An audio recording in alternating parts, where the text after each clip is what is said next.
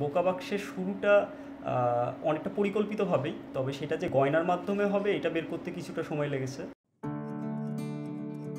বোকা বাক্স শুরু করি হচ্ছে দু হাজার ষোলো সালের জুন মাসে। আগে দেখতাম যে মা কাকিরা যখন গয়না পরতো গয়না মানে সোনা, রূপা, তামা এইগুলোর, তো মাটির গয়না যদি হতে পারে তাহলে কাঠের গয়না কেন হবে না? তো এইভাবে আমরা কাঠ দিয়ে আসলে গয়না বানানো শুরু করি এবং সেইভাবেই আসলে বোকা বাক্সটা শুরু হয়। শহর আমার অনেক ভালো বন্ধু, তো আসলে সব কিছু তার কাছ থেকেই পেয়ে যাই। আর যেহেতু হাতে বানানো গয়না, তো পুরো কাজটাই কিছুটা সময় সাপেক্ষ ব্যাপার। তবে দিন শেষে যখন গয়নাগুলো আমি কারোর হাতে তুলে দিতে পারি, তখনই আসলে আসল মজাটা পাওয়া যায়। শুরু থেকে আমার সাথে আসলে আতিক ছিল, পরে আসে সামিয়া আর অন্তু। একটা সময় পর্যন্ত আমরা নিজেরাই প্রোডাক্ট ডেলিভারি করে বেড়াতাম।